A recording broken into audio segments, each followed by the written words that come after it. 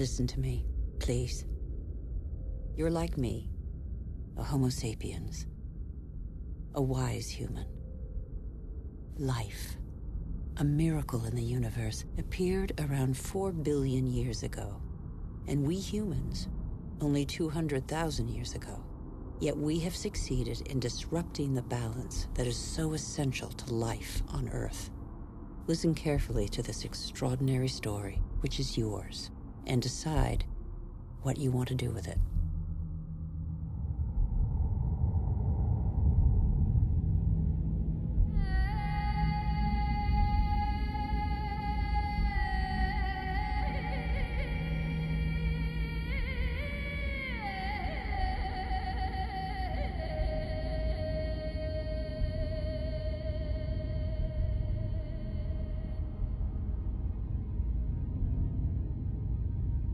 These are traces of our origins. At the beginning, our planet was no more than a chaos of fire, formed in the wake of its star, the Sun. A cloud of agglutinated dust particles, similar to so many similar clusters in the universe. Yet this was where the miracle of life occurred.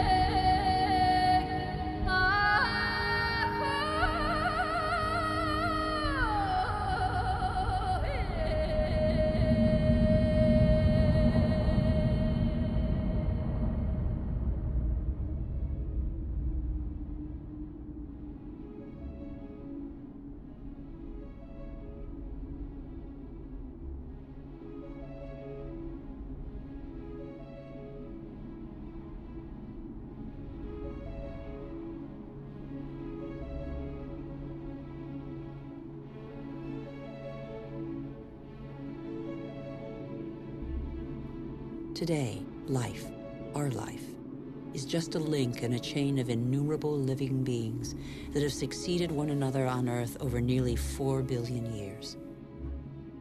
And even today, new volcanoes continue to sculpt our landscapes. They offer a glimpse of what our Earth was like at its birth. Molten rock surging from the depths, solidifying, cracking, blistering, or spreading in a thin crust before falling dormant for a time.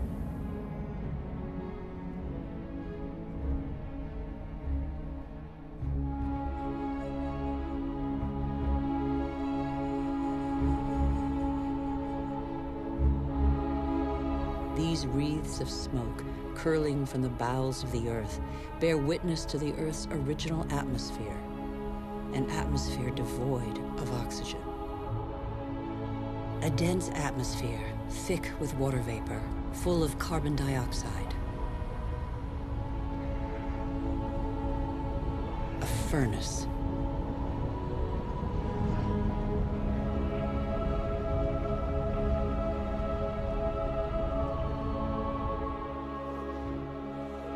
But the Earth had an exceptional future, offered to it by water. At the right distance from the sun, not too far, not too near, the Earth was able to conserve water in liquid form. Water vapor condensed and fell in torrential downpours on Earth, and rivers appeared.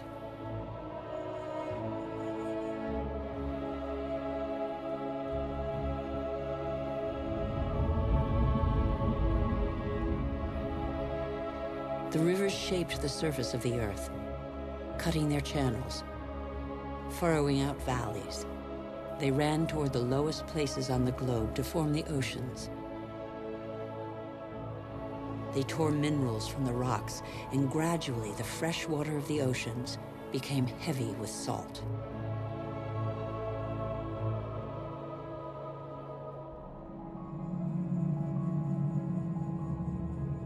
Water is a vital liquid. It irrigated these sterile expanses.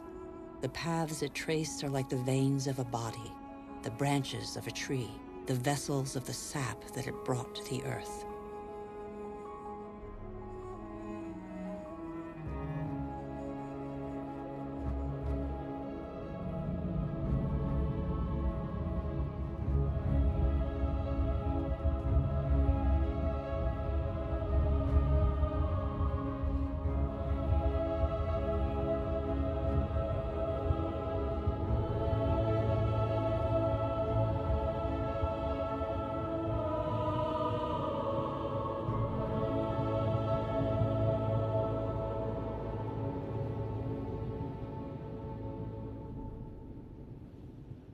Four billion years later, somewhere on Earth can still be found these works of art left by the volcano's ash mixed with water from Iceland's glaciers.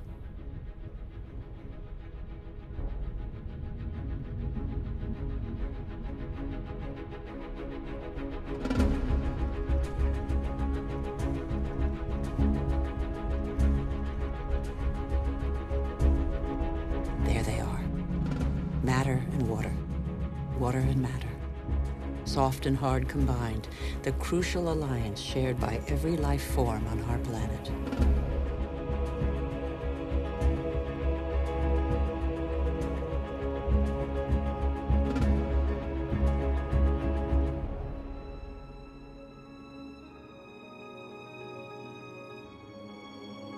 Minerals and metals are even older than the Earth.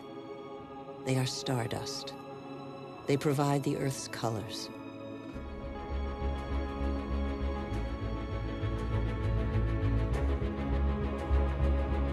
Red from iron, black from carbon, blue from copper, yellow from sulfur.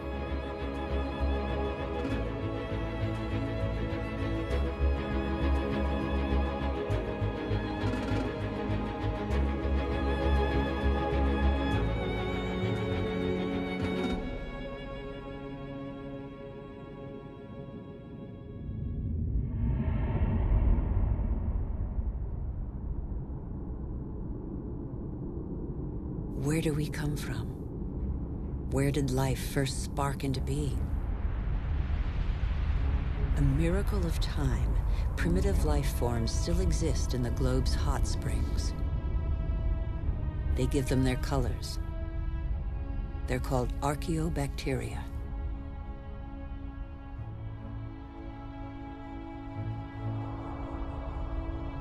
They all feed off the Earth's heat. All except the cyanobacteria, or blue-green algae. They alone have the capacity to turn to the sun to capture its energy.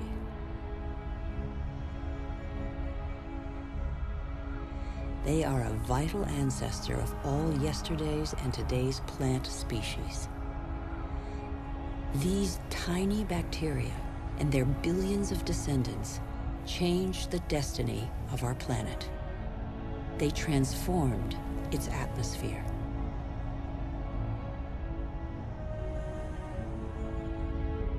What happened to the carbon that poisoned the atmosphere? It's still here, imprisoned in the Earth's crust.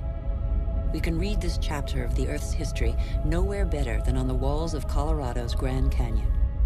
They reveal nearly two billion years of the Earth's history. Once upon a time, the Grand Canyon was a sea inhabited by microorganisms. They grew their shells by tapping into carbon from the atmosphere dissolved in the ocean. When they died, the shells sank and accumulated on the seabed. These strata are the product of those billions and billions of shells.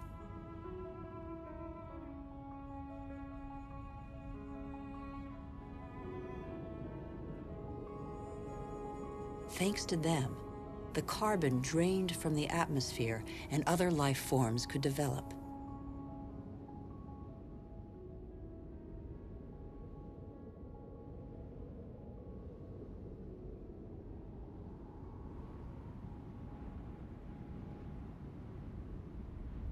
It is life that altered the atmosphere. Plant life fed off the sun's energy, which enabled it to break apart the water molecule and take the oxygen. And oxygen filled the air.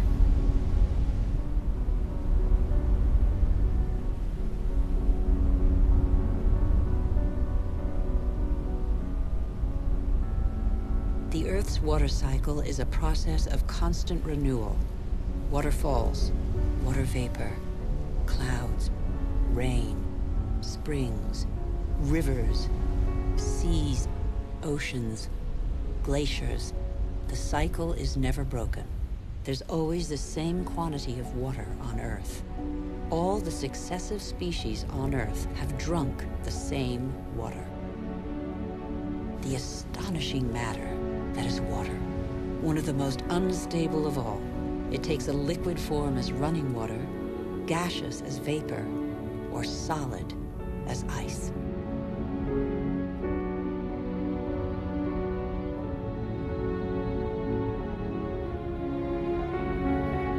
Siberia, the frozen surfaces of the lakes in winter contain the traces of the forces that water deploys when it freezes.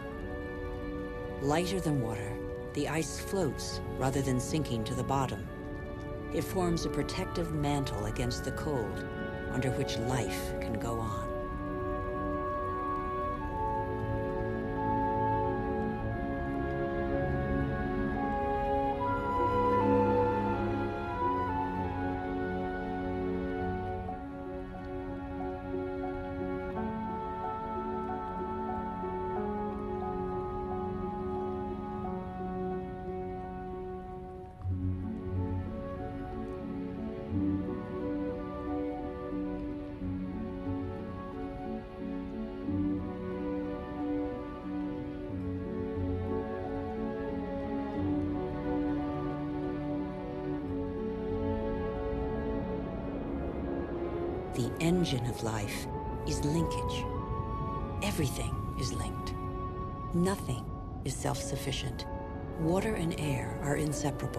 United in life and for our life on Earth.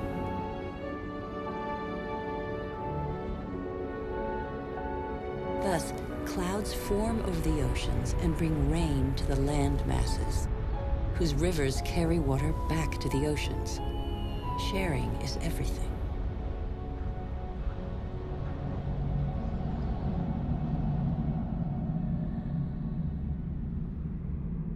The green expanse peeking through the clouds is the source of oxygen in the air.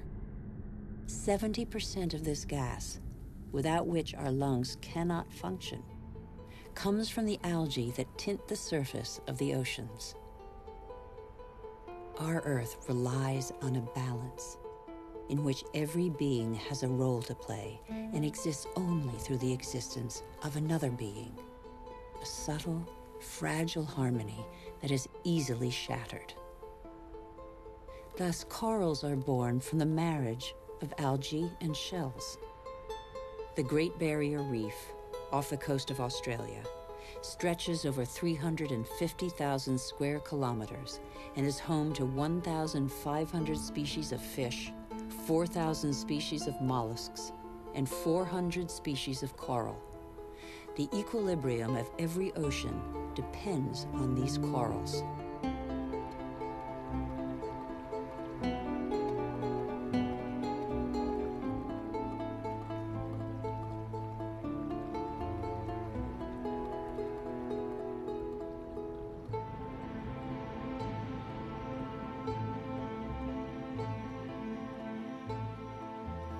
The Earth counts time in billions of years. It took more than four billion years for it to make trees. In the chain of species, trees are a pinnacle, a perfect living sculpture. Trees defy gravity. They are the only natural element in perpetual movement toward the sky. They grow unhurriedly toward the sun that nourishes their foliage.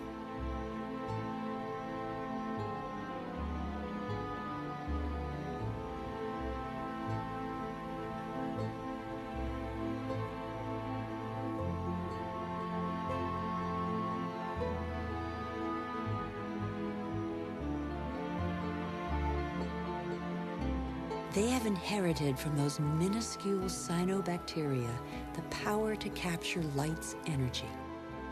They store it and feed off it, turning it into wood and leaves, which then decompose into a mixture of water, mineral, vegetable, and living matter. And so, gradually, the soils that are indispensable to life are formed.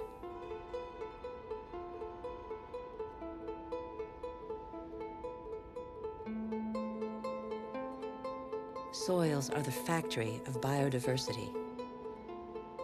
They are a world of incessant activity where microorganisms feed, dig, aerate, and transform. They make the humus, the fertile layer to which all life on land is linked.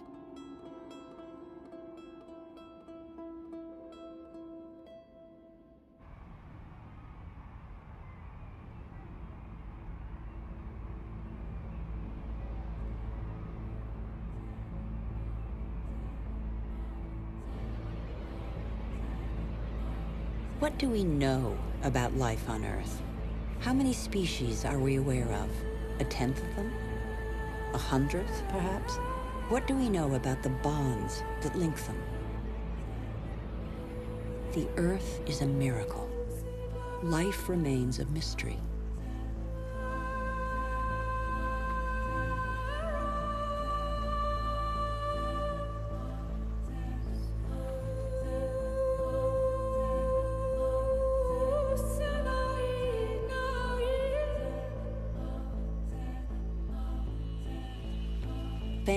Animals form, united by customs and rituals that survive today.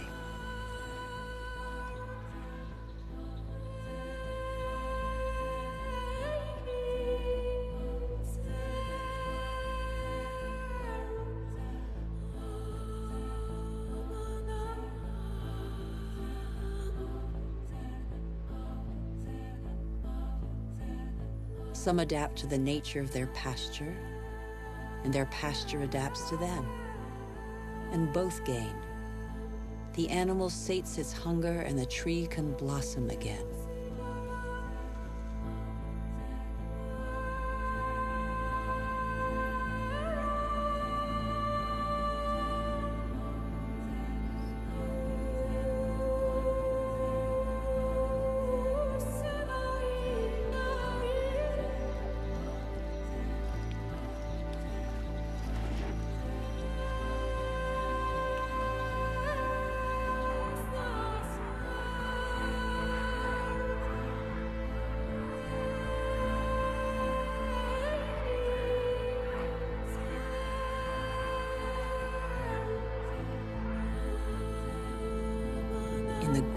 Adventure of life on Earth, every species has a role to play. Every species has its place.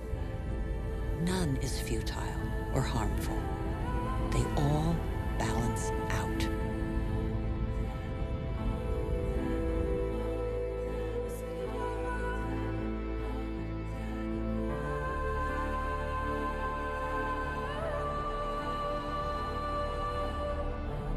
And that's where you, Homo sapiens, wise human, enter the story. You benefit from a fabulous four billion year old legacy bequeathed by the Earth.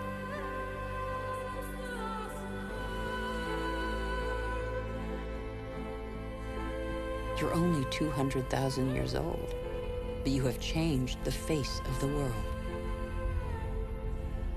Despite your vulnerability, you have taken possession of every habitat and conquered swaths of territory like no other species before you.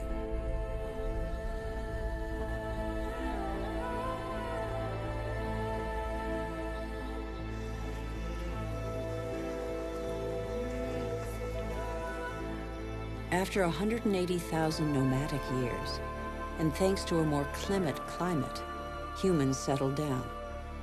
They no longer depended on hunting for survival. They chose to live in wet environments that abounded in fish, game, and wild plants. There where land, water, and life combine.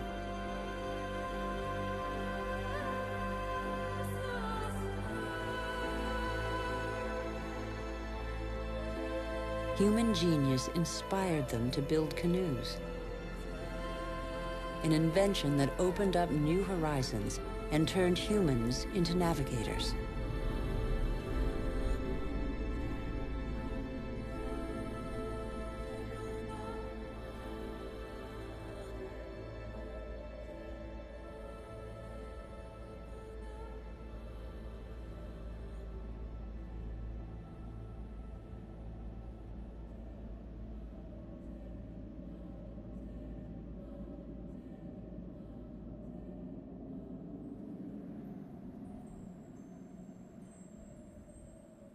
Even today, the majority of humankind lives on the continent's coastlines or the banks of rivers and lakes.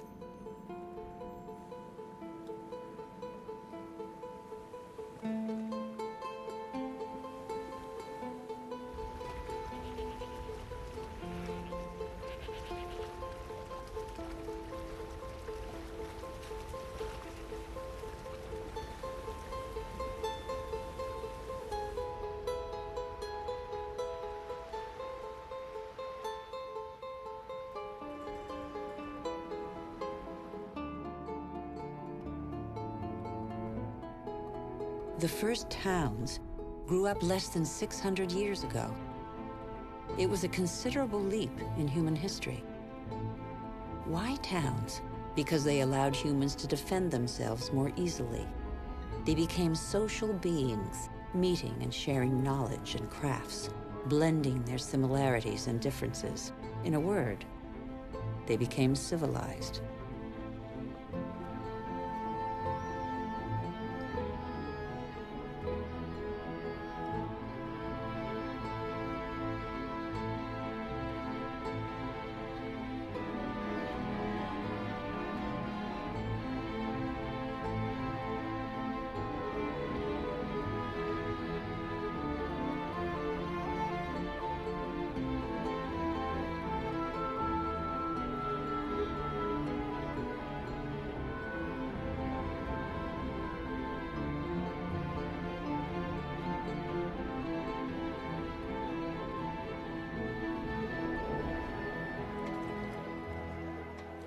But the only energy at their disposal was provided by nature and the strength of their bodies. It was the story of humankind for thousands of years. It still is for one person in four, over one and a half billion human beings, more than the combined population of all the wealthy nations.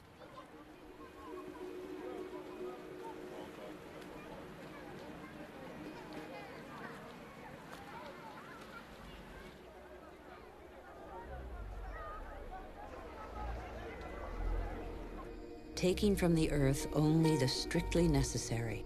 For a long time, the relationship between humans and the planet was evenly balanced. For a long time, the economy seemed like a natural and equitable alliance.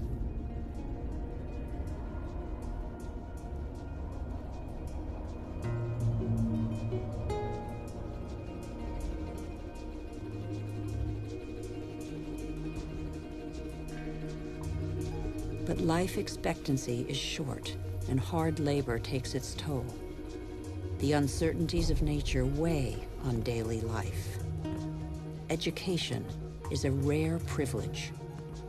Children are a family's only asset as long as every extra pair of hands is a necessary contribution to its subsistence.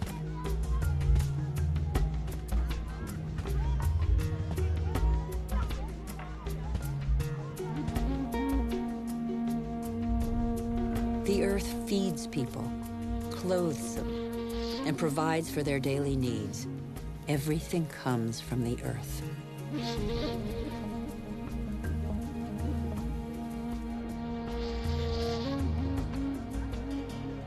Towns change humanity's nature as well as its destiny.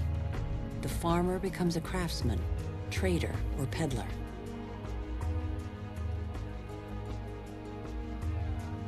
What the earth gives the farmer, the city dweller buys, sells, or barters.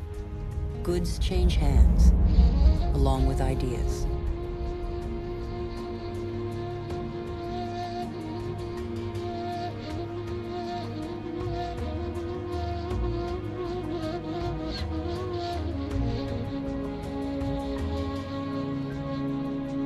Humanity's genius is to have always had a sense of its weakness. Humans tried to extend the frontiers of their territory, but they knew their limits. The physical energy and strength with which nature had not endowed them was found in the animals they domesticated to serve them.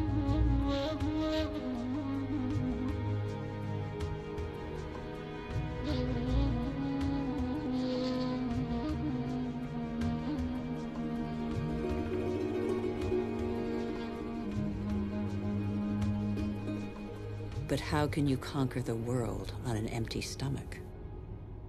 The invention of agriculture transformed the future of the wild animals scavenging for food that were humankind. Agriculture turned their history on end. Agriculture was their first great revolution. Developed barely eight to 10,000 years ago, it changed their relationship to nature.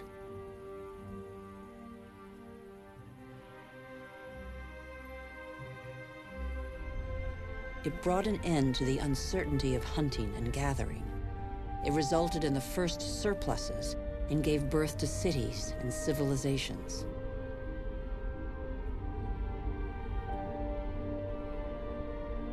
For their agriculture, humans harnessed the energy of animal species and plant life, from which they at last extracted the profits.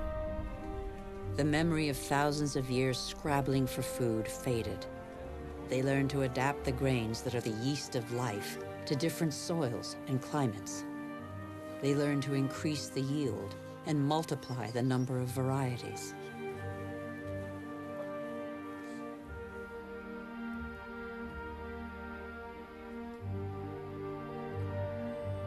Like every species on Earth, the principal daily concern of all humans is to feed themselves and their family.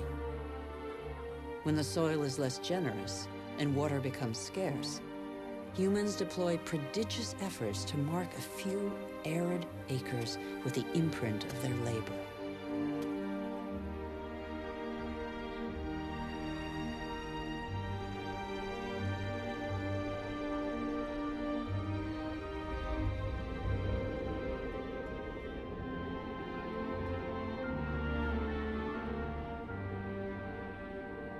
Humans shape the land with the patience and devotion that the earth demands in an almost sacrificial ritual performed over and over.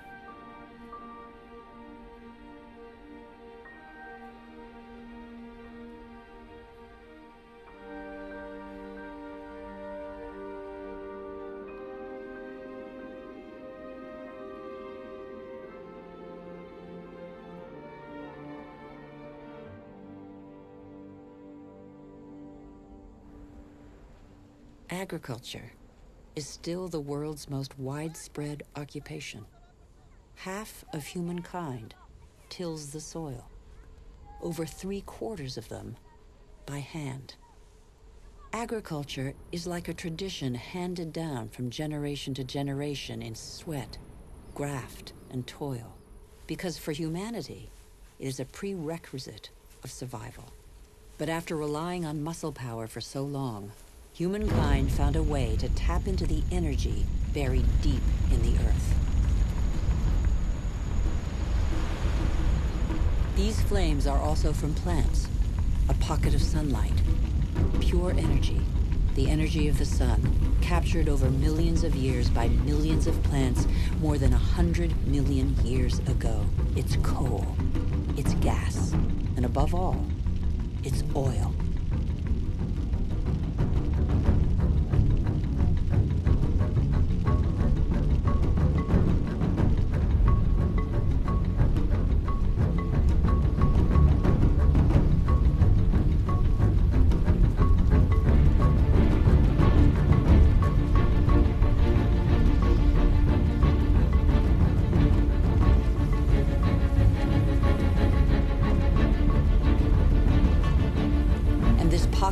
Sunlight freed humans from their toil on the land.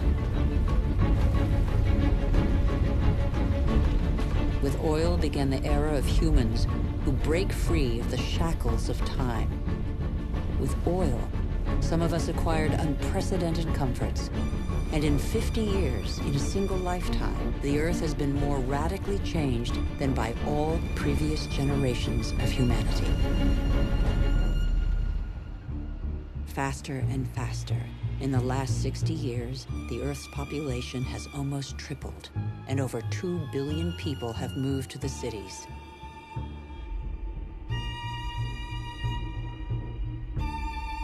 Faster and faster. Shenzhen in China, with its hundreds of skyscrapers and millions of inhabitants, was just a small fishing village barely 40 years ago.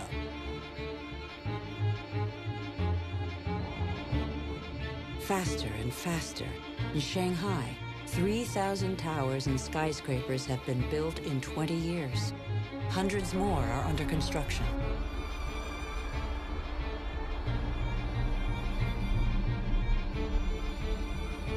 Today, over half of the world's 7 billion inhabitants live in cities.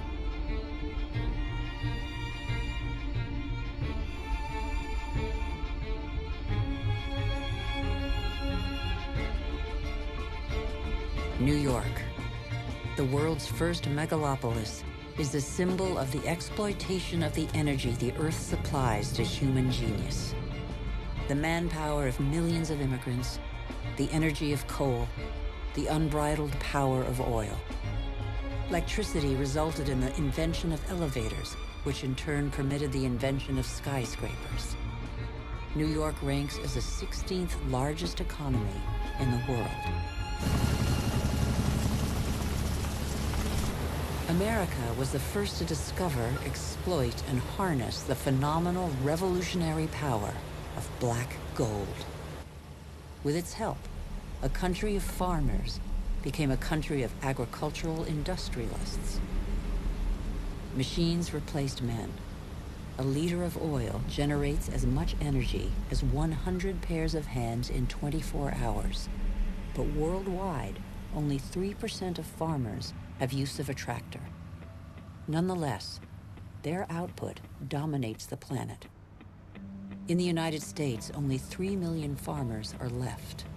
They produce enough grain to feed 2 billion people.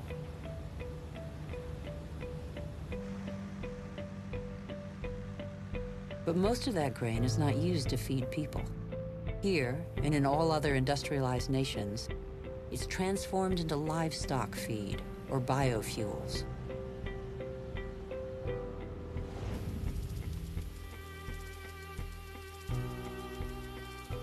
The pocket of sunshine's energy chased away the specter of drought that stalked farmland. No spring escapes the demands of agriculture, which accounts for 70% of humanity's water consumption. In nature, everything is linked. The expansion of cultivated land and single crop farming encouraged the development of parasites. Pesticides, another gift of the petrochemical revolution, exterminated them. Bad harvests and famine became a distant memory. The biggest headache now was what to do with the surpluses engendered by modern agriculture.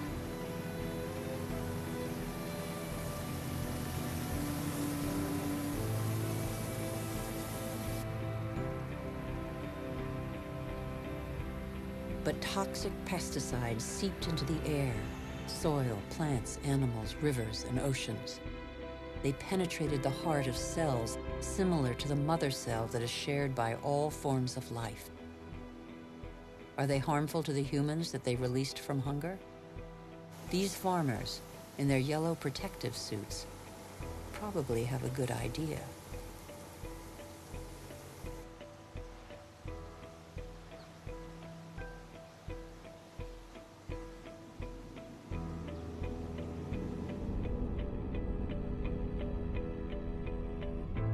The new agriculture abolished the dependence on soils and seasons.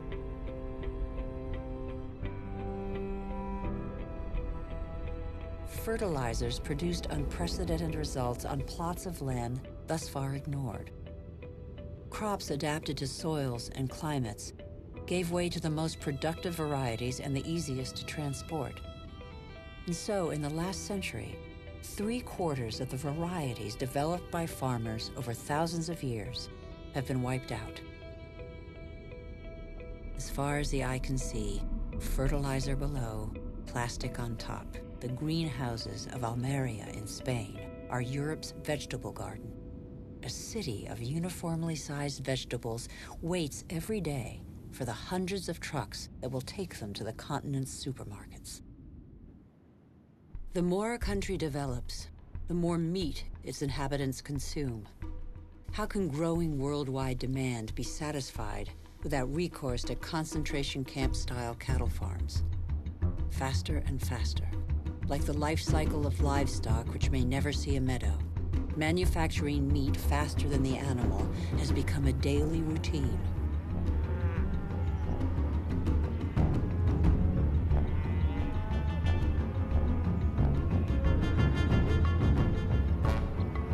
These vast food lots trampled by millions of cattle, not a blade of grass grows. A fleet of trucks from every corner of the country brings in tons of grain, soy meal, and protein-rich granules that will become tons of meat.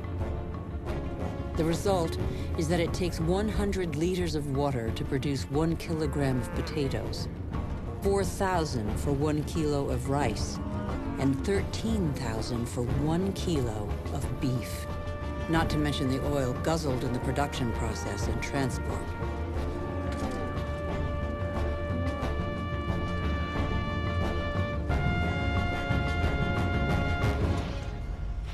Our agriculture has become oil-powered.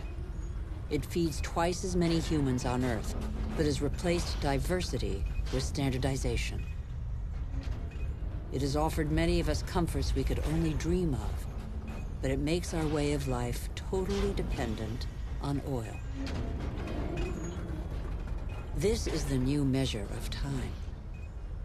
Our world's clock now beats to the rhythm of these indefatigable machines tapping into the pocket of sunlight. Their regularity reassures us. The tiniest hiccup throws us into disarray. The whole planet is attentive to these metronomes of our hopes and illusions. The same hopes and illusions that proliferate along with our needs, increasingly insatiable desires and profligacy. We know that the end of cheap oil is imminent, but we refuse to believe it.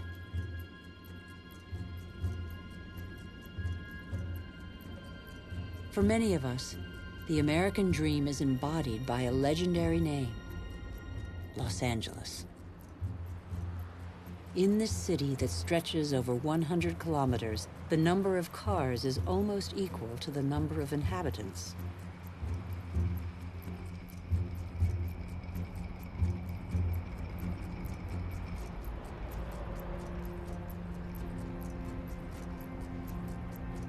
Here, Energy puts on a fantastic show every night.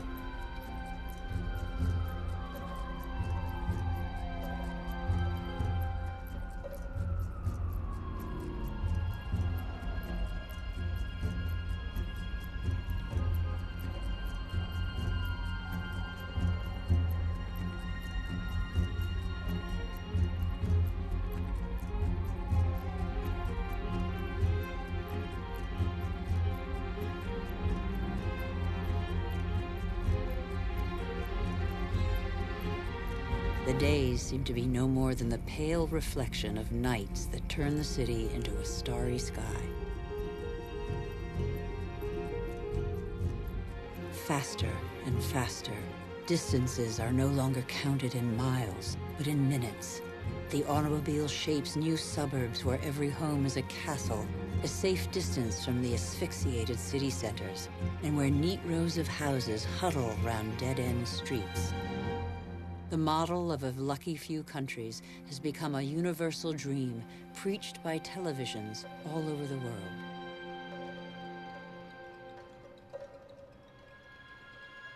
Even here in Beijing, it is cloned, copied, and reproduced in these formatted houses that have wiped pagodas off the map.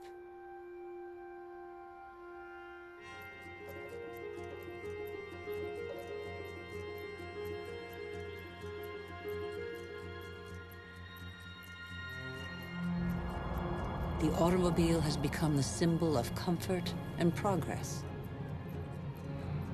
If this model were followed by every society, the planet wouldn't have 900 million vehicles as it does today, but 5 billion.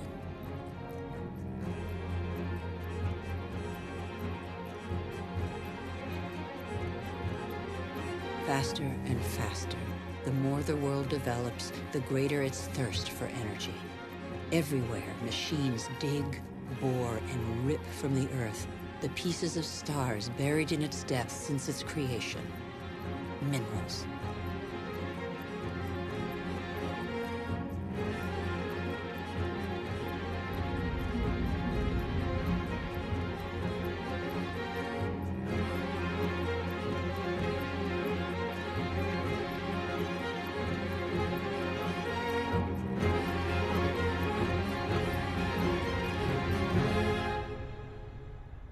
Next 20 years, more ore will be extracted from the Earth than in the whole of humanity's history.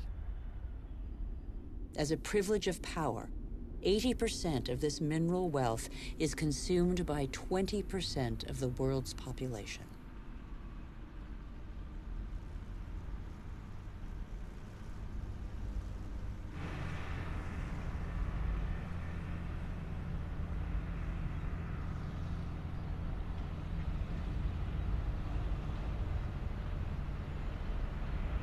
Before the end of this century, excessive mining will have exhausted nearly all the planet's reserves.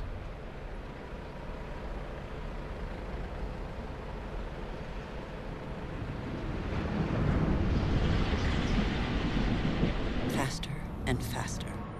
Shipyards churn out oil tankers, container ships, and gas tankers to cater for the demands of globalized industrial production.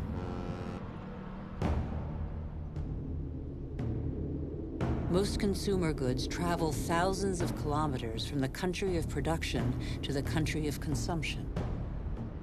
Since 1950, the volume of international trade has increased 20 times over.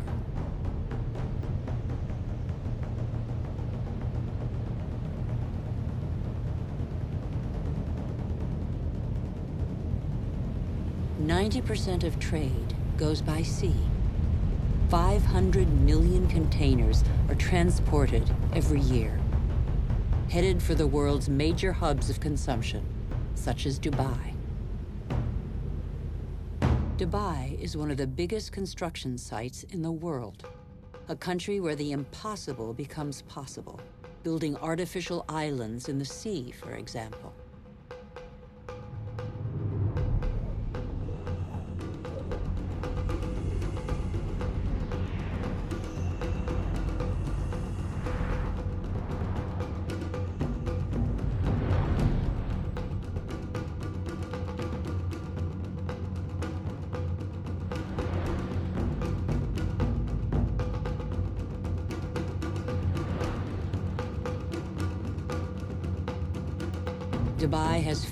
Natural resources, but with the money from oil, it can bring millions of tons of material and people from all over the world. It can build forests of skyscrapers, each one taller than the last, or even a ski slope in the middle of the desert.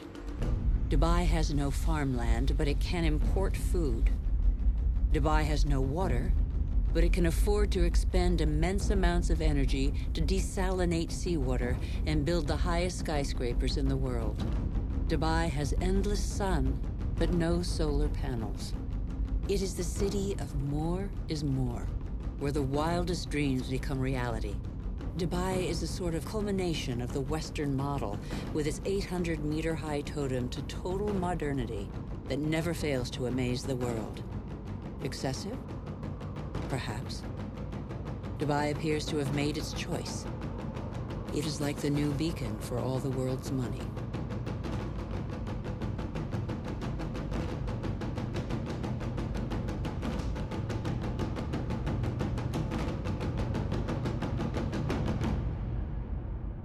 Nothing seems further removed from nature than Dubai, although nothing depends on nature more than Dubai. The city merely follows the model of wealthy nations, we haven't understood that we're depleting what nature provides.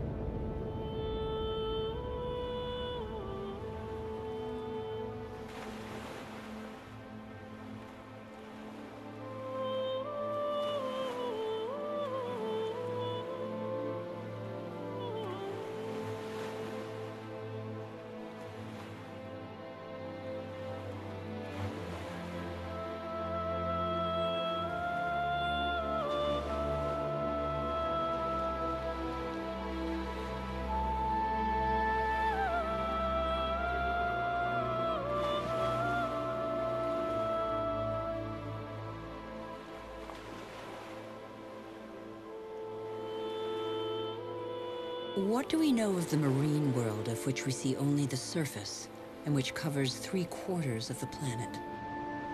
The ocean depths remain a secret. They contain thousands of species whose existence remains a mystery to us.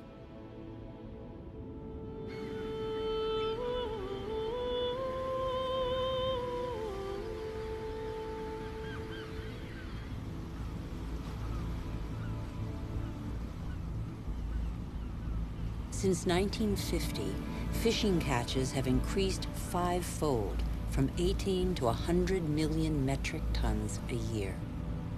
Thousands of factory ships are emptying the oceans.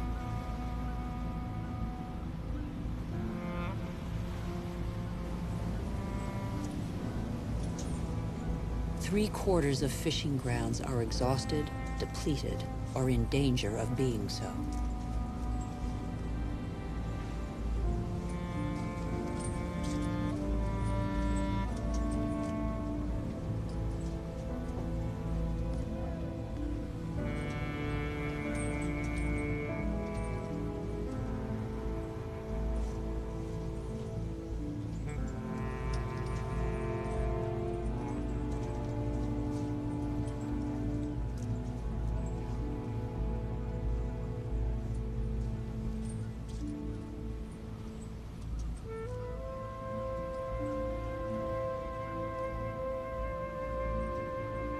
Large fish have been fished out of existence since they have no time to reproduce. We are destroying the cycle of a life that was given to us.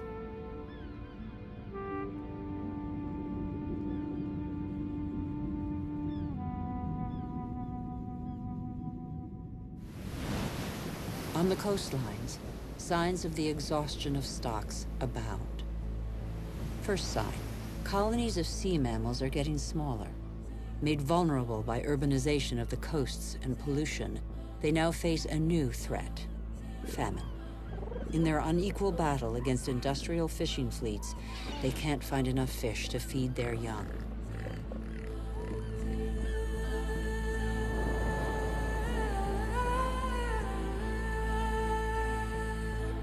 Second sign. Seabirds must fly ever greater distances to find food. At the current rate, all fish stocks are threatened with exhaustion.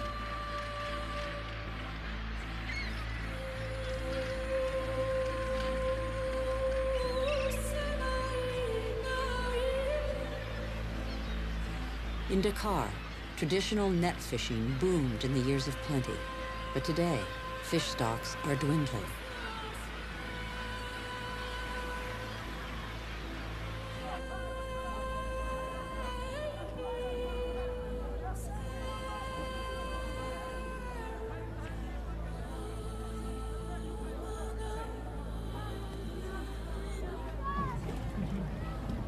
Fish is the staple diet of one in five humans.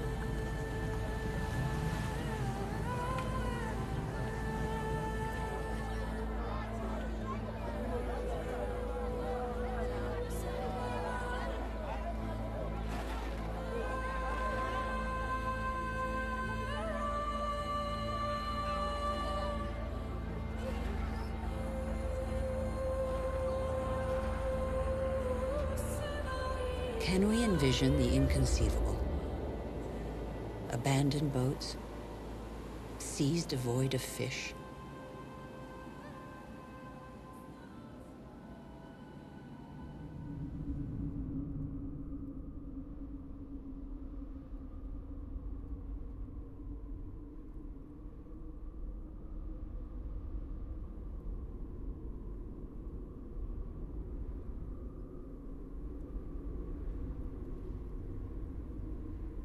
We have forgotten that resources are scarce.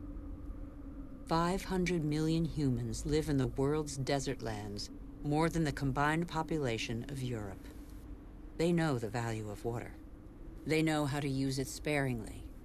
Here, they depend on wells replenished by fossil water, which accumulated underground in the days when it rained on these deserts, 25,000 years ago.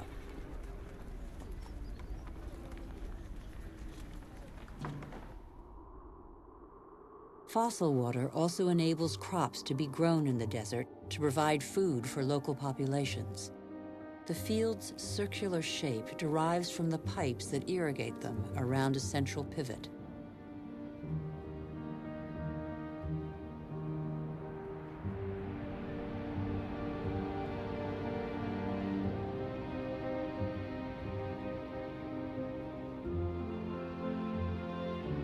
There is a heavy price to pay. Fossil water is a non-renewable resource.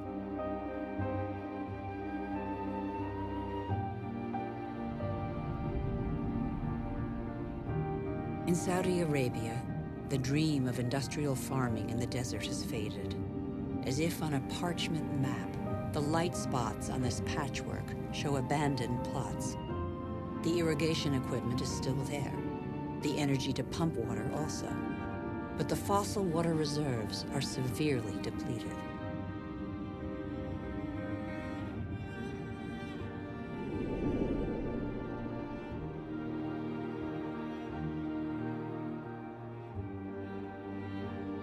Israel turned the desert into arable land.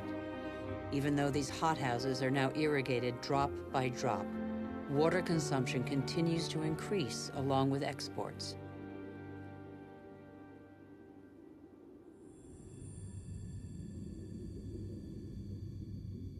The once mighty River Jordan is now just a trickle. Its water has flown to supermarkets all over the world in crates of fruit and vegetables.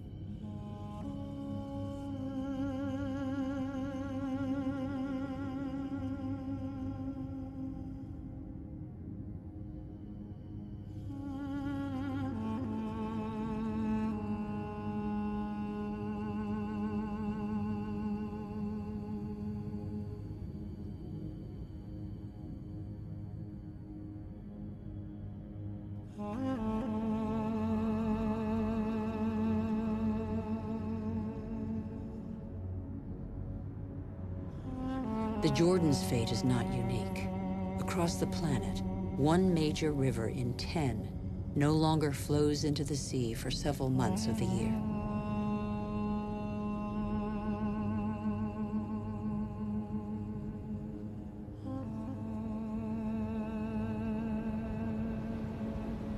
The Dead Sea derives its name from its incredibly high salinity that makes all life impossible.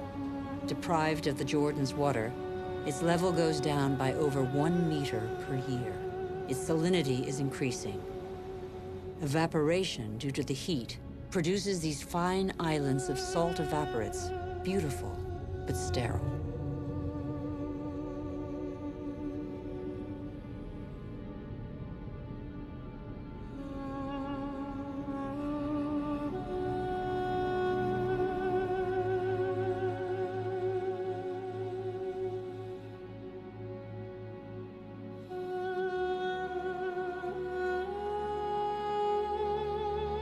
Rajasthan, India, Udaipur is a miracle of water. The city was made possible by a system of dams and channels that created an artificial lake. For its architects, was water so precious that they dedicated a palace to it?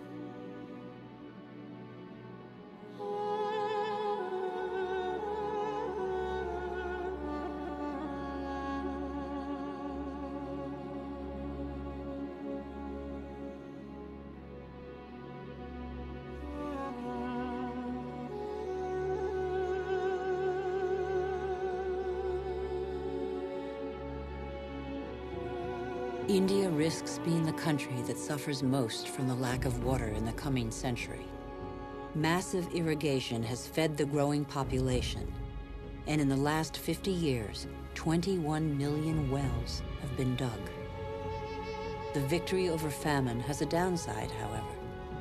In many parts of the country, the drill has to sink ever deeper to hit water. In western India, 30% of wells have been abandoned.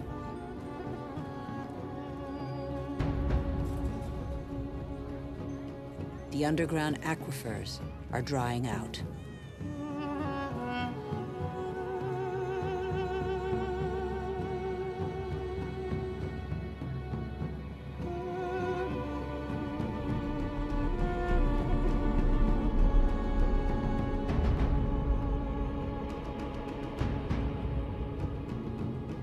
Vast reservoirs will catch the monsoon rains to replenish the aquifers.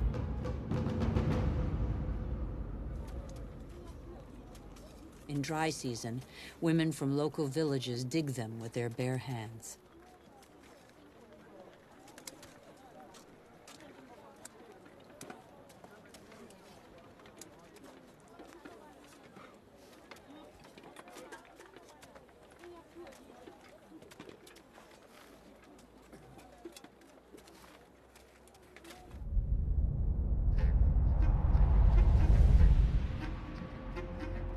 Thousands of kilometers away, 800 to 1,000 liters of water are consumed per person per day. Las Vegas was built out of the desert. Millions of people live there. Thousands more arrive every month. The inhabitants of Las Vegas are among the biggest consumers of water in the world.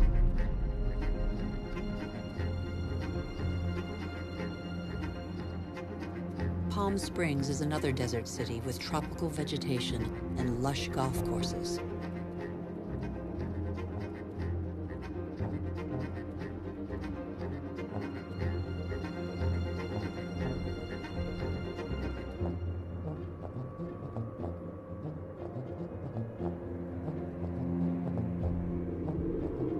How long can this mirage continue to prosper?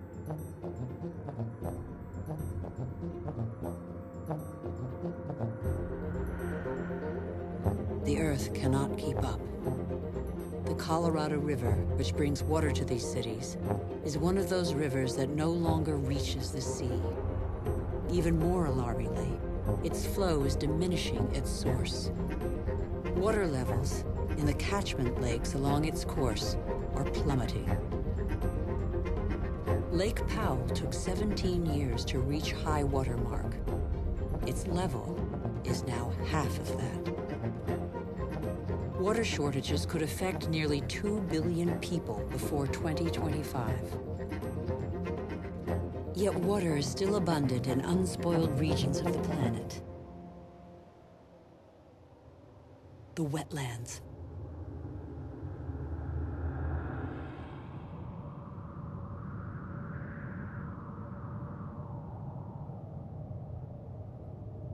These wetlands are crucial to all life on Earth.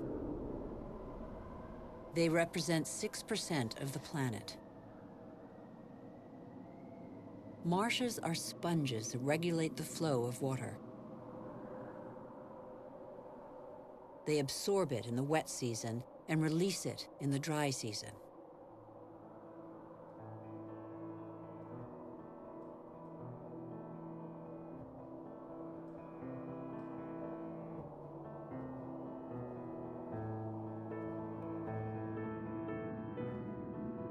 Runs off the mountain peaks, carrying with it the seeds of the regions it flows through.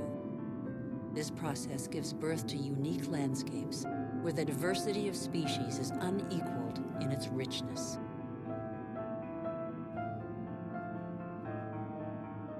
Under the calm water lies a veritable factory where this ultimately linked richness and diversity patiently filters the water and digests all the pollution. Marshes are indispensable environments for the regeneration and purification of water.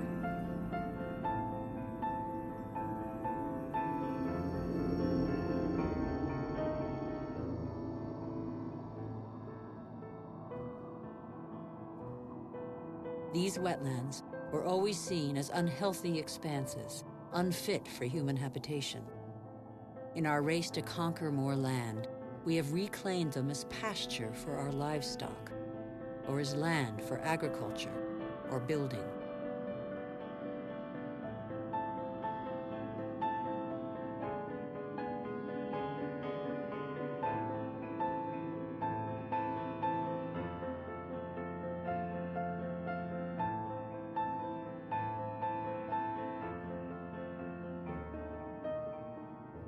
In the last century, half of the world's marshes were drained. We know neither their richness nor their role.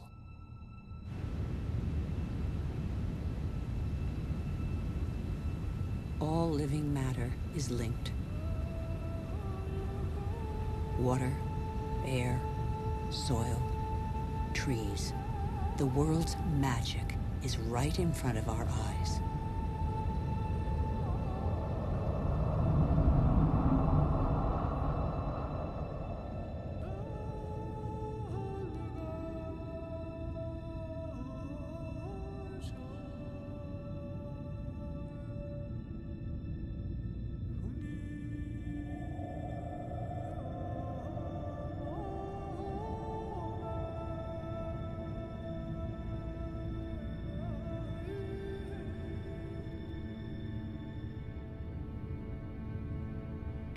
Breathe groundwater into the atmosphere as light mist. They form a canopy that alleviates the impact of heavy rains and protects the soil from erosion. The forests provide the humidity that is necessary for life. They are the mother and father of rain. The forests store carbon. They contain more than all the Earth's atmosphere. They are the cornerstone of the climactic balance on which we all depend.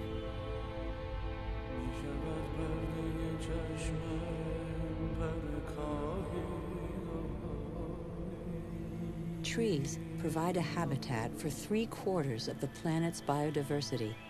That is to say, of all life on Earth. Every year, we discover new species we had no idea existed. Insects, birds, mammals.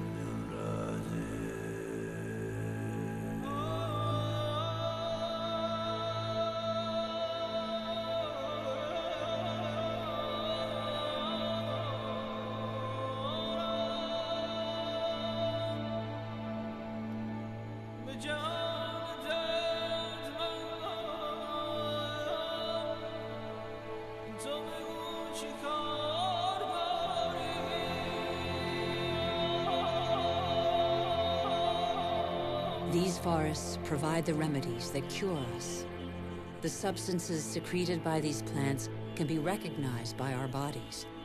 Our cells talk the same language. We are of the same family.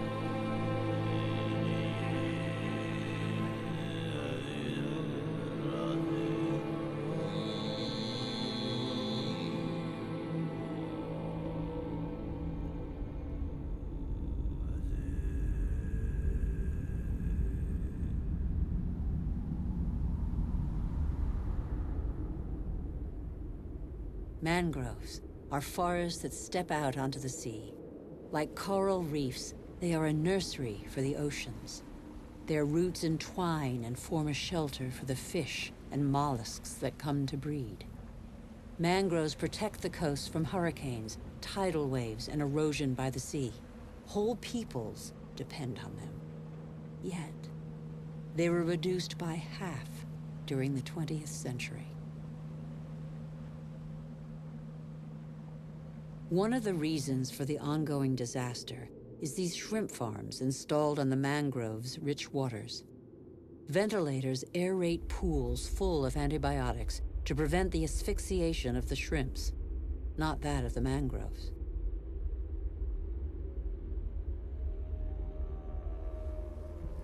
Since the 1960s, deforestation has constantly gathered pace.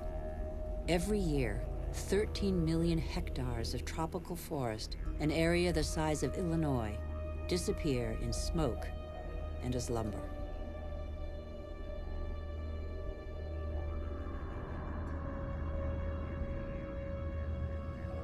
The world's largest rainforest, the Amazon, has already been reduced by 20%.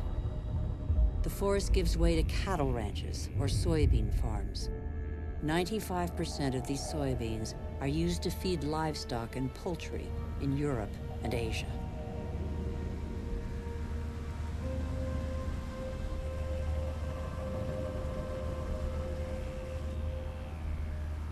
And so, a forest is turned into meat.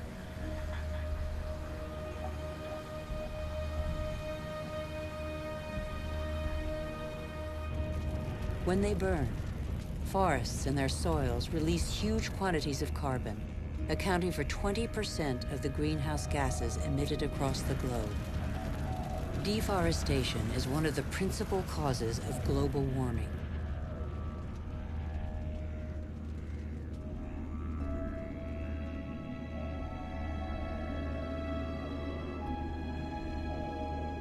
Thousands of species disappear forever. With them, one of the links in a long chain of evolution snaps. The intelligence of the living matter from which they came is lost forever.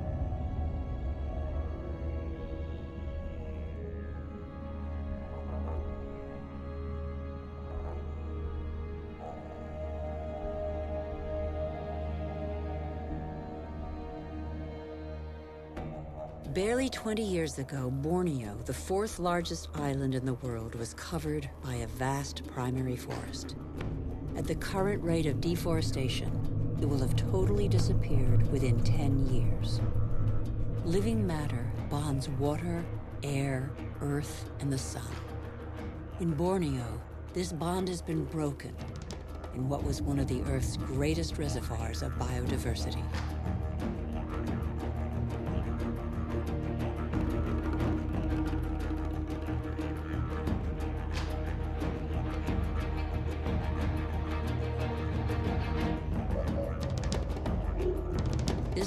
Catastrophe was provoked by the decision to produce palm oil, the most consumed oil in the world, on Borneo. Palm oil not only caters to our growing demand for food, but also cosmetics, detergents, and increasingly, alternative fuels. The forest diversity was replaced by a single species, the oil palm.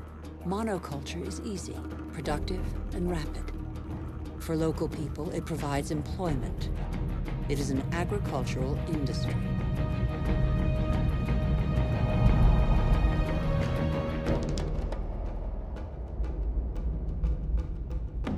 Another example of massive deforestation is the eucalyptus. Eucalyptus is used to make paper pulp. Plantations are growing as demand for paper has increased fivefold in 50 years.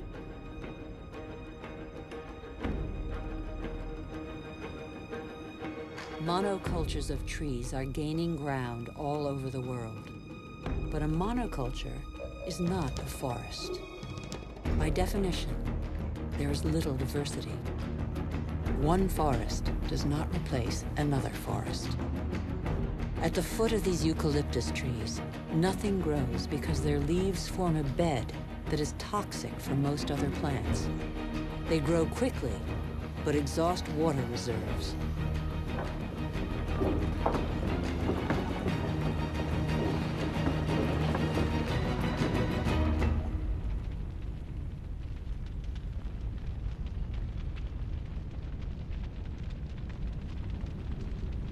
Soybeans, palm oil, eucalyptus trees.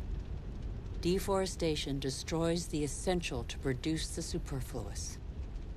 But elsewhere, deforestation is a last resort to survive.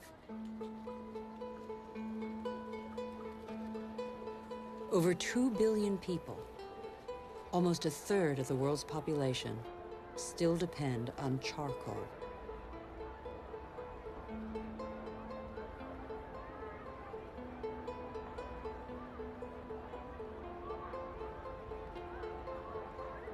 In Haiti, one of the world's poorest countries, charcoal is one of the population's main consumables. Once the pearl of the Caribbean, Haiti can no longer feed its population without foreign aid.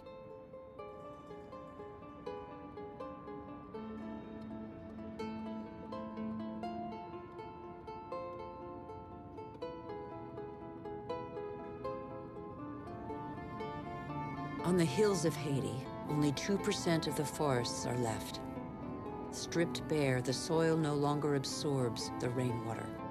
With no vegetation and no roots to reinforce them, nothing holds the soils back. The rainwater washes them down the hillsides as far as the sea.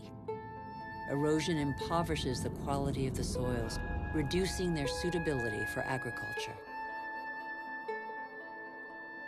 In some parts of Madagascar, the erosion is spectacular. Whole hillsides bear deep gashes hundreds of meters wide.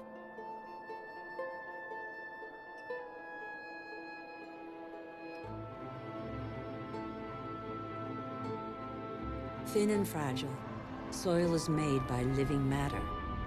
With erosion, the fine layer of humus, which took thousands of years to form, disappears.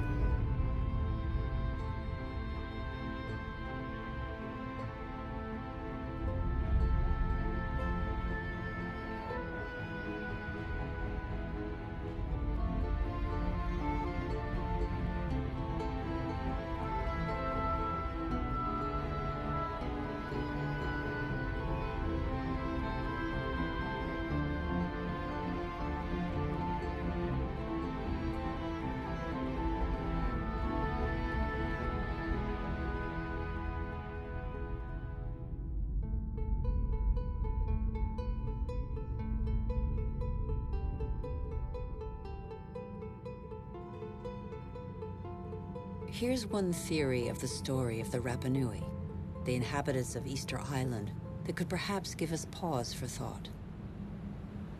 Living on the most isolated island in the world, the Rapa Nui exploited their resources until there was nothing left. Their civilization did not survive. On these lands stood the highest palm trees in the world. They have disappeared. The Rapa Nui chopped them all down for lumber. They then had to face widespread soil erosion.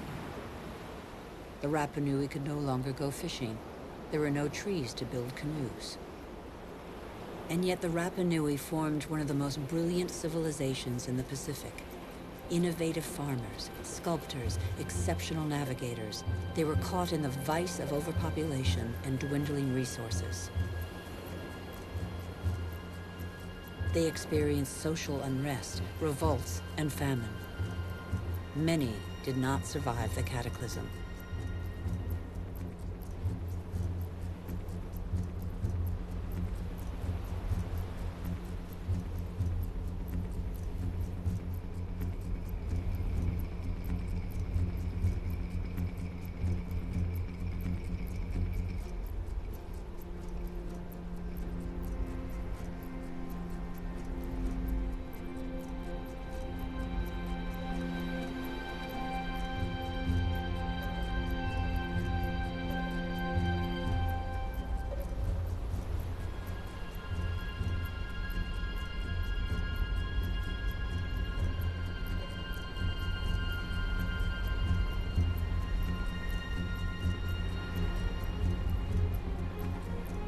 Mystery of Easter Island is not how its strange statues got there.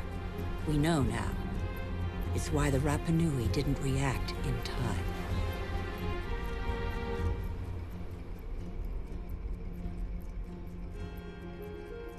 It's only one of a number of theories, but it has particular relevance to us today. Since 1950, the world's population has almost tripled. And since 1950, we have more fundamentally altered our island, the Earth, than in all of our 200,000 year history. Nigeria is the biggest oil exporter in Africa, and yet 70% of the population lives under the poverty line. The wealth is there, but the country's inhabitants don't have access to it. The same is true all over the globe. Half the world's poor live in resource-rich countries.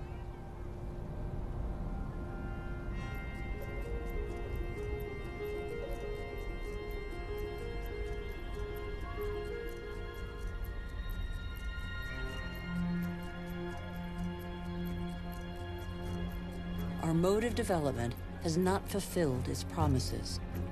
In 50 years, the gap between rich and poor has grown wider than ever. Today, half the world's wealth is in the hands of the richest 2% of the population. Can such disparities be maintained? They're the cause of population movements whose scale we have yet to fully realize. The city of Lagos had a population of 700,000 in 1960. That will rise to 16 million by 2025.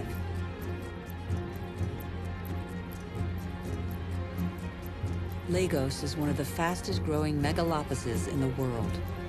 The new arrivals are mostly farmers forced off the land for economic or demographic reasons, or because of diminishing resources.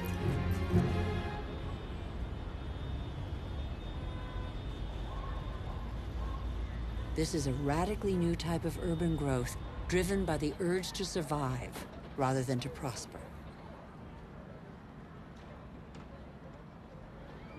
Every week, over a million people swell the populations of the world's cities.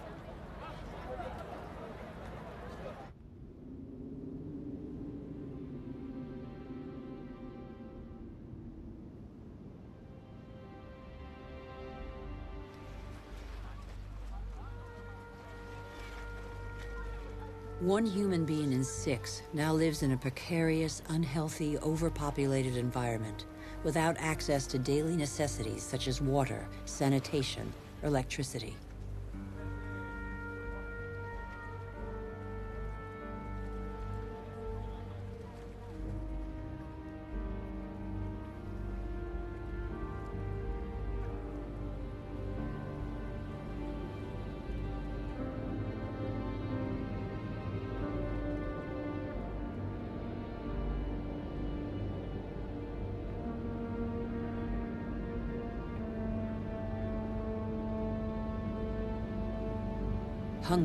Spreading once more.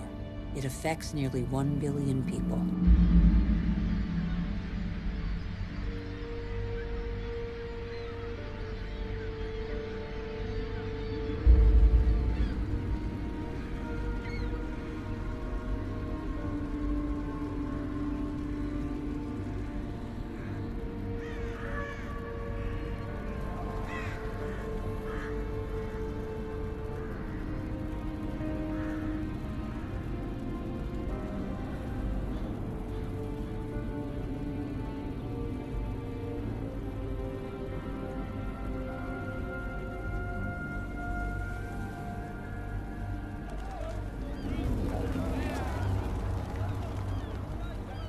The planet, the poorest scrabble to survive on scraps, while we continue to dig for resources that we can no longer live without. We look farther and farther afield, in previously unspoilt territory, and in regions that are increasingly difficult to exploit.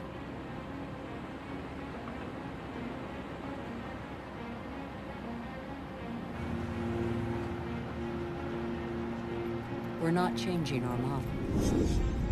Oil might run out. We can still extract oil from the tar sands of Canada. The biggest trucks in the world move thousands of tons of sand.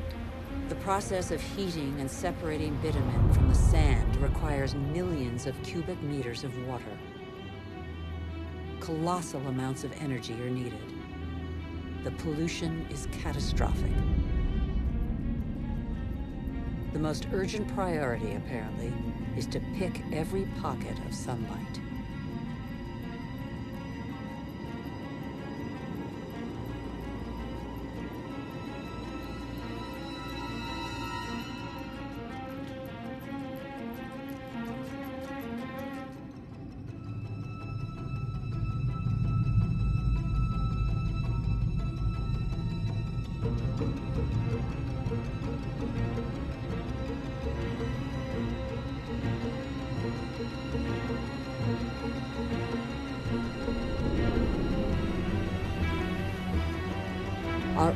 Tankers are getting bigger and bigger.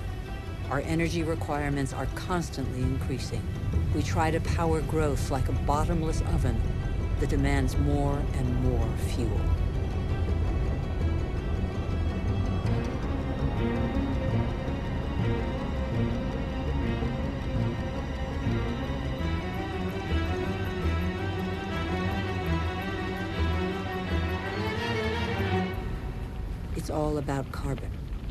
Few decades, the carbon that made our atmosphere a furnace and that nature captured over millions of years, allowing life to develop, will have largely been pumped back out. The atmosphere is heating up. It would have been inconceivable for a boat to be here just a few years ago. Transport, industry, deforestation, agriculture. Our activities release gigantic quantities of carbon dioxide. Without realizing it, molecule by molecule, we have upset the Earth's climatic balance.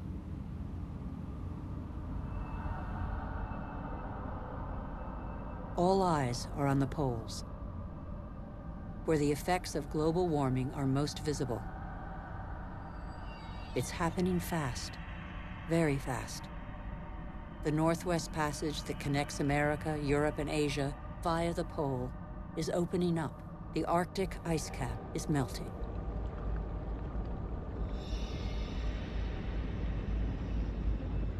Under the effect of global warming, the ice cap has lost 40% of its thickness in 40 years.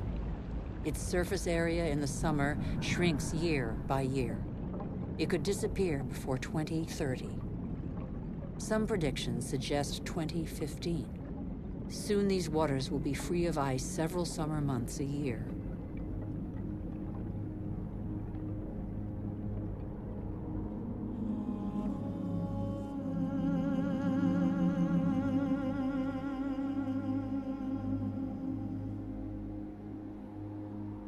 The sunbeams that the ice sheet previously reflected back now penetrate the dark water, heating it up. The warming process gathers pace.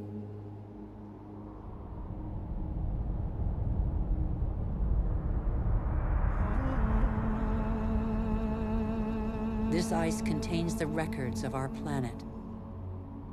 The concentration of carbon dioxide hasn't been so high for several hundred thousand years. Humanity has never lived in an atmosphere like this.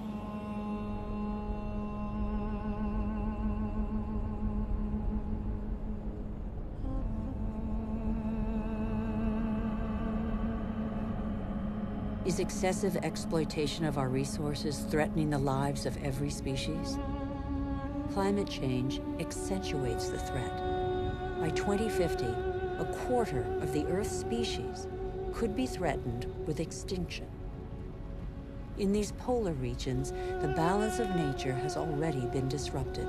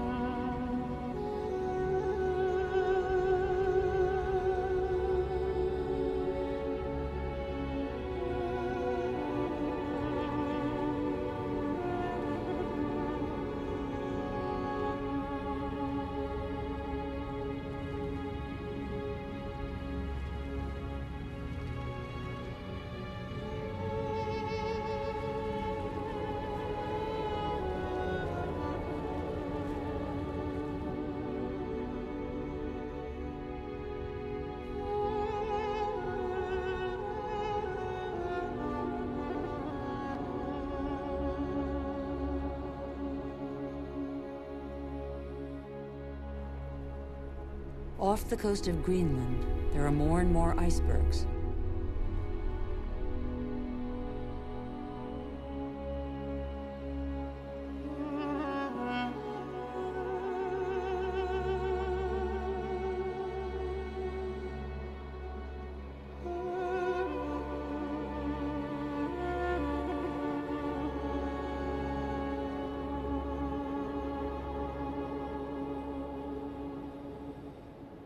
Around the North Pole, the ice cap has lost 30% of its surface area in 30 years.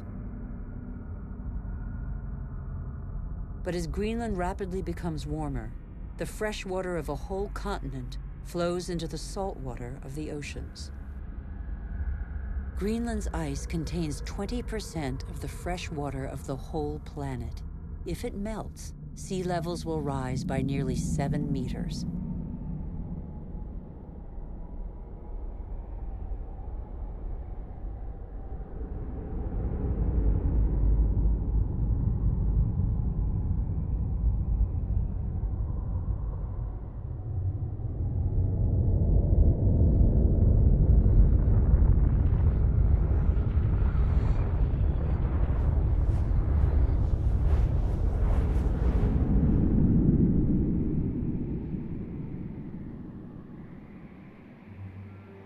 But there is no industry here. Greenland's ice sheet suffers from greenhouse gases emitted elsewhere on Earth. Our ecosystem doesn't have borders. Wherever we are, our actions have repercussions on the whole Earth. The atmosphere of our planet is an indivisible whole. It is an asset we share. On Greenland's surface, lakes are appearing on the landscape, the ice cap has begun to melt at a speed that even the most pessimistic scientists did not envision 10 years ago.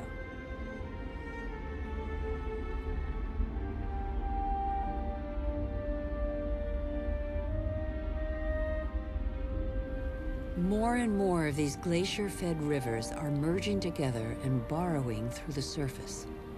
It was thought the water would freeze in the depths of the ice. On the contrary, it flows under the ice, carrying the ice sheet into the sea where it breaks into icebergs.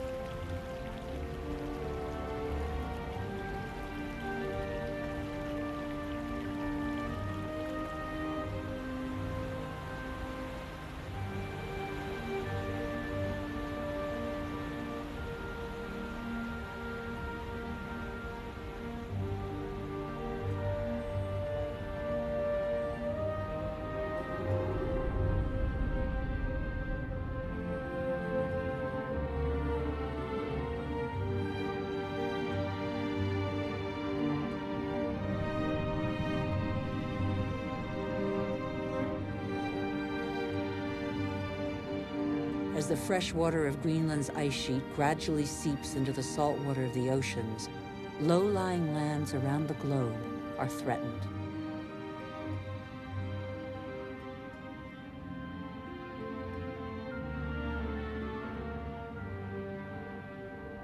Sea levels are rising, water expanding as it gets warmer, caused in the 20th century alone a rise of 20 centimeters everything becomes unstable. Coral reefs, for example, are extremely sensitive to the slightest change in water temperature. 30% have disappeared. They are an essential link in the chain of species.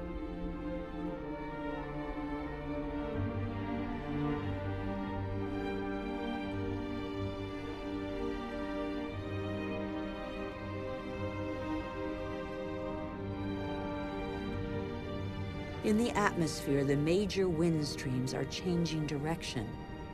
Rain cycles are altered. The geography of climates is modified. The inhabitants of low-lying islands here in the Maldives, for example, are on the front line. They are increasingly concerned. Some are already looking for new, more hospitable lands.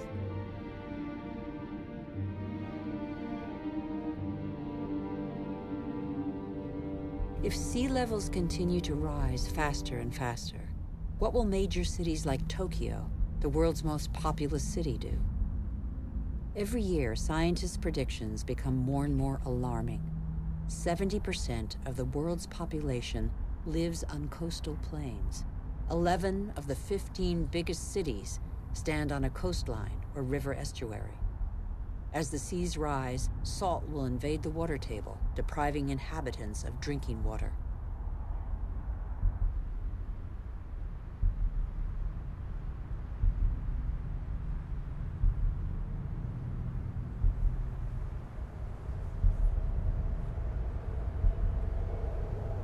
Migratory phenomena are inevitable. The only uncertainty concerns their scale.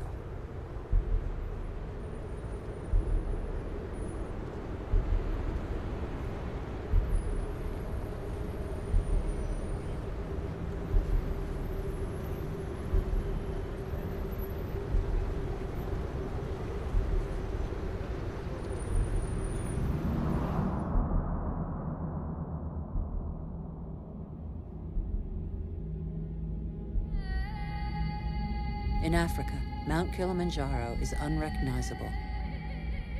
80% of its glaciers have disappeared. In summer, the rivers no longer flow. Local peoples are affected by the lack of water. Even on the world's highest peaks, in the heart of the Himalayas, eternal snows and glaciers are receding. Yet these glaciers play an essential role in the water cycle they trap the water from the monsoons as ice and release it in the summer when the snow melts.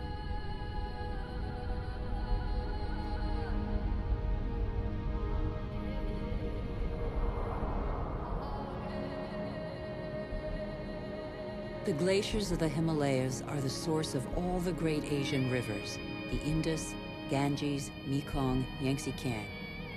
Two billion people depend on them for drinking water and to irrigate their crops, as in Bangladesh.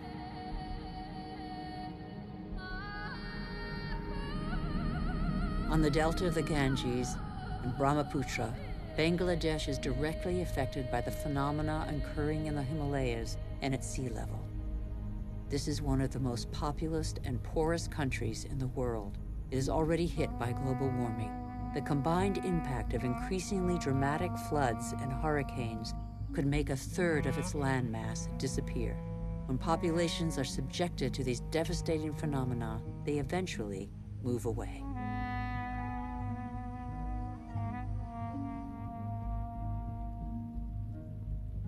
Wealthy countries will not be spared. Droughts are occurring all over the planet.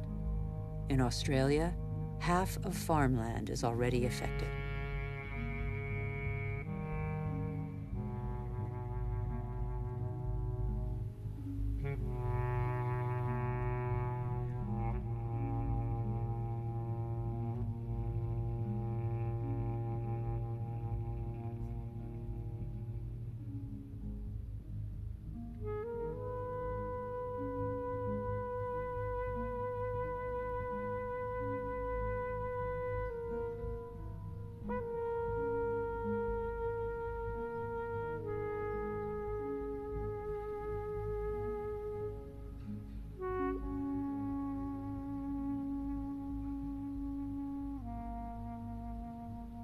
We are in the process of compromising the climactic balance that has allowed us to develop over 12,000 years.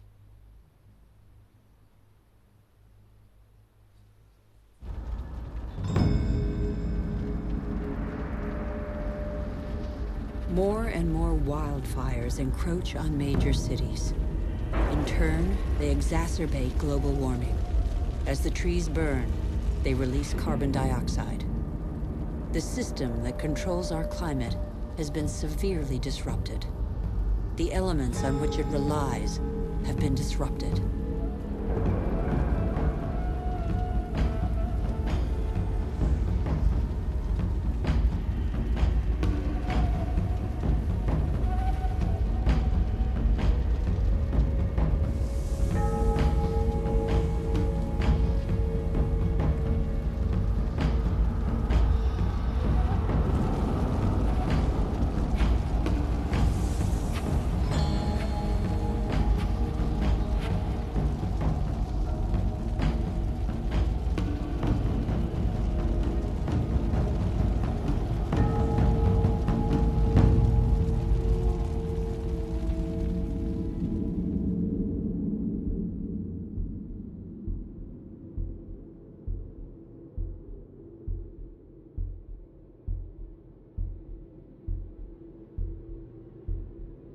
Clock of climate change is ticking in these magnificent landscapes.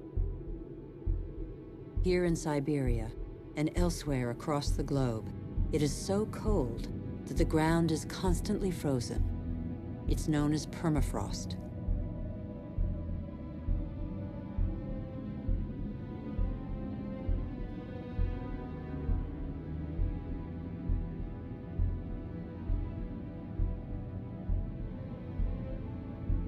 Its surface lies a climactic time bomb, methane, a greenhouse gas 20 times more powerful than carbon dioxide.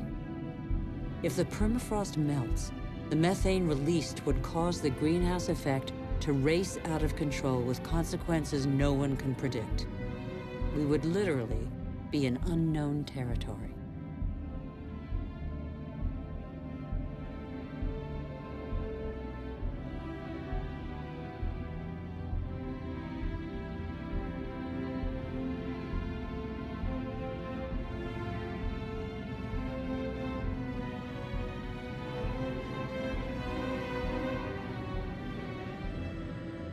Humanity has no more than 10 years to reverse the trend and avoid crossing into this territory.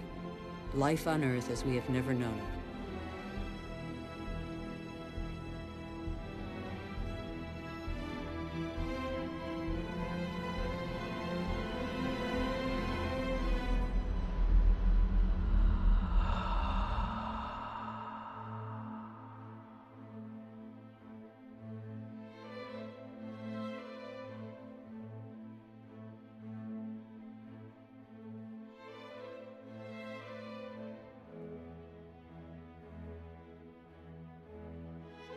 Have created phenomena we cannot control. Since our origins, water, air, and forms of life are intimately linked. But recently, we have broken those links. Let's face the facts. We must believe what we know. All that we have just seen is a reflection of human behavior. We have shaped the Earth in our image. We have very little time to change. How can this century carry the burden of 9 billion human beings if we refuse to be called to account for everything we alone have done?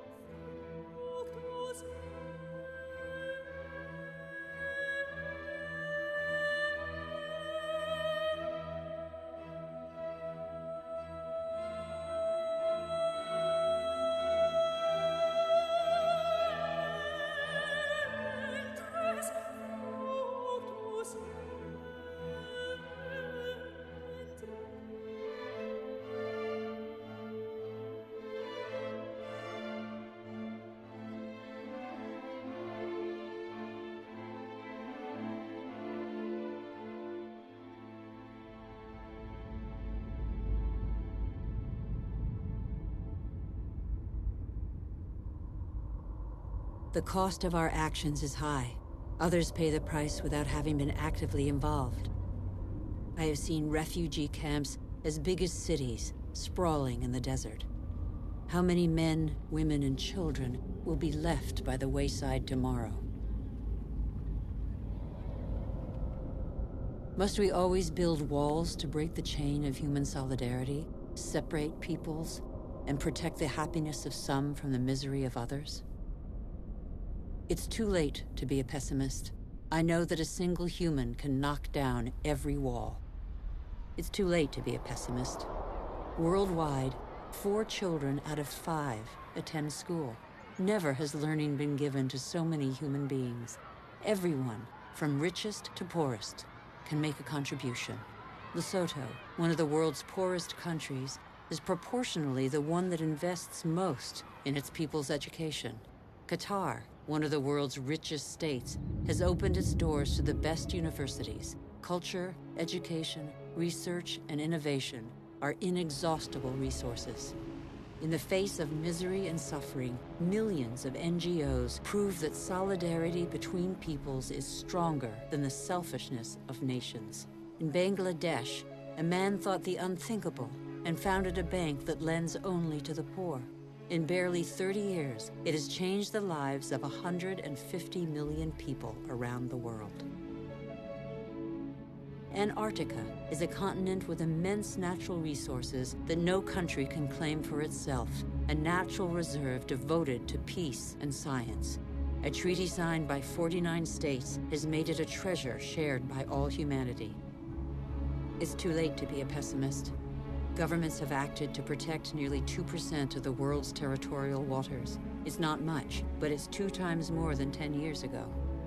The first natural parks were created just over a century ago. They cover over 13% of the continents. They create spaces where human activity is in step with the preservation of species, soils, and landscapes. This harmony between humans and nature can become the rule, no longer the exception. In the United States, New York has realized that nature does for us. These forests and lakes supply all the drinking water the city needs.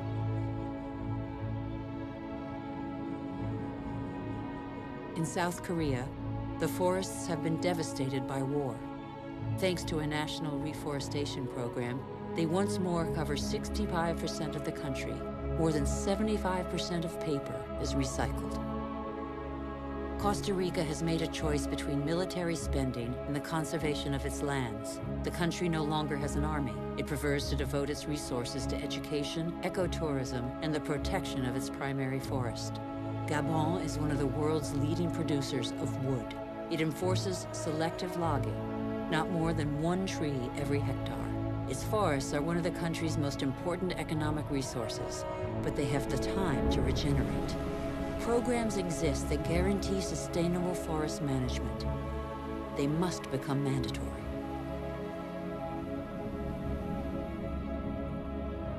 For consumers and producers, Justice is an opportunity to be seized. When trade is fair, when both buyer and seller benefit, everybody can prosper and earn a decent living.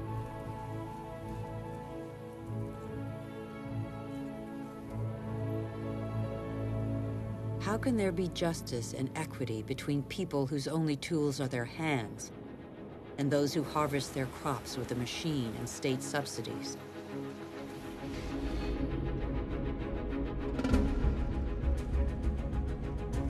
Let's be responsible consumers. Think about what we buy. It's too late to be a pessimist. I've seen agriculture on a human scale. It can feed the whole planet if meat production doesn't take the food out of people's mouths. I have seen fishermen who take care what they catch and care for the riches of the ocean. I have seen houses producing their own energy 5,000 people live in the world's first ever eco-friendly district in Freiburg, Germany. Other cities partner the project. Mumbai is the thousandth to join them. The governments of New Zealand, Iceland, Austria, Sweden, and other nations have made the development of renewable energy sources a top priority. I know that 80% of the energy we consume comes from fossil energy sources. Every week, two new coal-fired generating plants are built in China alone. But I have also seen, in Denmark, a prototype of a coal-fired plant that releases its carbon into the soil rather than the air. A solution for the future? Nobody knows yet. I have seen in Iceland an electricity plant powered by the Earth's heat, geothermal power. I have seen a sea snake lying on the swell to absorb the energy of the waves and produce electricity.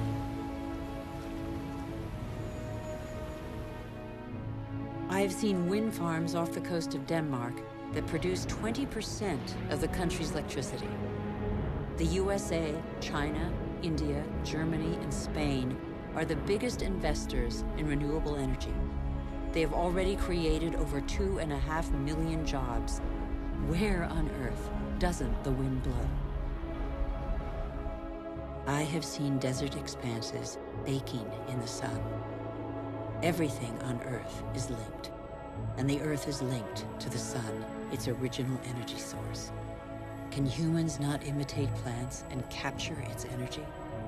In one hour, the sun gives the Earth the same amount of energy as that consumed by all humanity in one year. As long as the Earth exists, the sun's energy will be inexhaustible. All we have to do is stop drilling the Earth and start looking to the sky. All we have to do is learn to cultivate the sun. All these experiments are only examples, but they testify to a new awareness. They lay down markers for a new human adventure based on moderation, intelligence, and sharing.